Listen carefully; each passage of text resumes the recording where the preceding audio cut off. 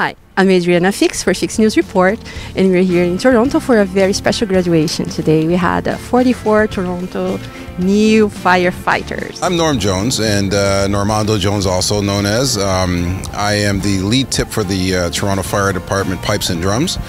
Uh, my name is Patrick Hayter. Dave Archer, and I'm a member of Toronto Fire Services on my 12th year. I currently serve at Station 323, which is on Danforth Avenue on the D platoon. And I work very closely with both of these gentlemen. Dave, I've worked with for years with the pipe band, and Patrick, I've worked with for years at his fire hall. Hayter, I work at Station uh, 332, which is on Adelaide Street in downtown Toronto. South headquarters, uh, busiest station in Canada, one of the busiest in uh, North America. Uh, I'm on the C platoon there.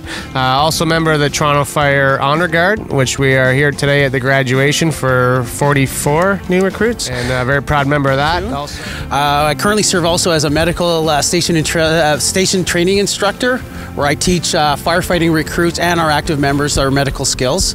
And as well as I'm very proud to be a member of the Toronto Fire Pipes and Drums Band, where I'm a drum major and bass drummer.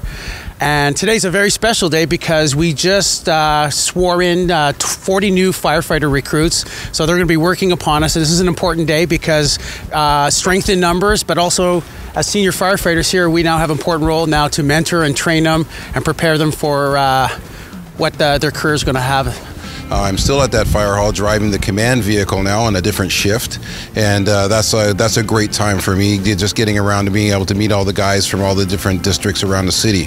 Um, I also, in the part time, what I do is I play uh, music for live live music for yoga classes, and uh, coming up shortly is a fundraiser for lymphoma called Take It to the Mat.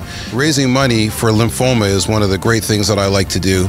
Playing in the pipe band is one of the great things I like to do because I like to contribute back to, to people and give with my musical talents in order to lift people up and just to make their day better, maybe their life better, and just, just have them have something to remember and, and to, to you know to go forward with.